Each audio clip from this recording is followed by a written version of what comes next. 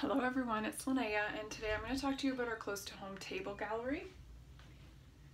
This is mine, so it's got some slits in here to fit these pictures. Mine says our story and it's got, I got the leaf pattern on mine. Now you upload these images onto the website, you make sure they're a high quality so that they come through looking nice. I did ours of our last Disney vacation. Um, so these you can purchase individually, um, the photo inserts. So they're $10 each. If you, they come with the tray with three, but if you want to replace them, if they've gotten, you know, you've got something else that you want to display in your, in your tray, then you just purchase these for $10 each and you've got a whole new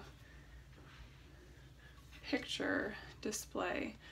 Another thing I like about these, if you put like a piece of rope or a piece of twine through this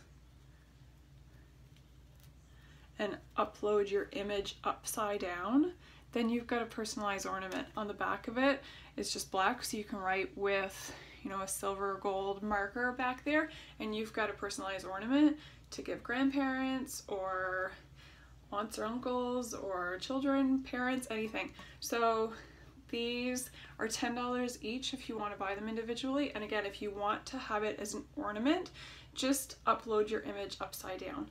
So if you need help with that, you can let me know, but just thought I'd let you know about this little trick. We'll talk to you soon. Bye-bye.